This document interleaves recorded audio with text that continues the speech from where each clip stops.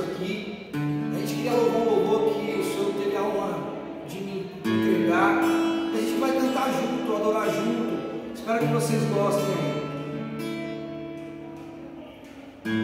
Estou sem força para te servir.